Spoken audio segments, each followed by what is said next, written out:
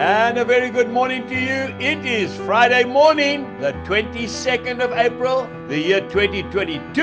And this is your friend Angus Buchan with a thought for the day. If we go straight to the book of Psalms, chapter 30 and one verse, verse 5. Weeping may endure for a night, but joy comes in the morning. And then we go to the Gospel of John, chapter 16, and one verse, verse 22. Therefore, you now have sorrow, but I will see you again, and your heart will rejoice, and your joy no one will take from you. How are you feeling this morning? Are you feeling like giving up? Well, please don't even go there. Jesus has promised us he is coming back for us. You know, he talks about childbirth. He says when a woman is having a baby, it is very painful indeed, physically painful as well. But what joy when that little baby is born. To see the face on that mother. The pain instantly disappears, even though she has gone through a very torrid time. I want to say to you that, uh, and this is for the gentlemen listening to this message, if having babies were left up to the men to give birth, this world would be extinct.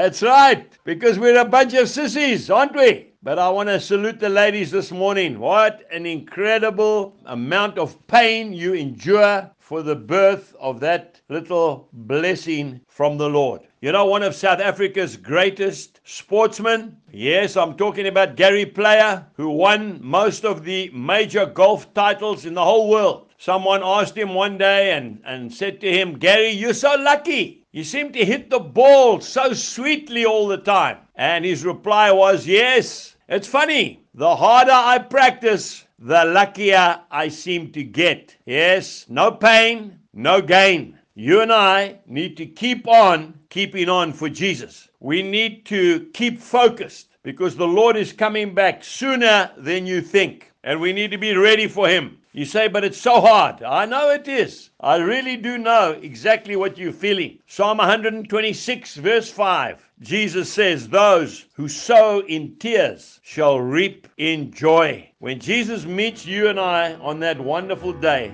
all the pain, the suffering will disappear. Have a wonderful day and God bless you. Goodbye.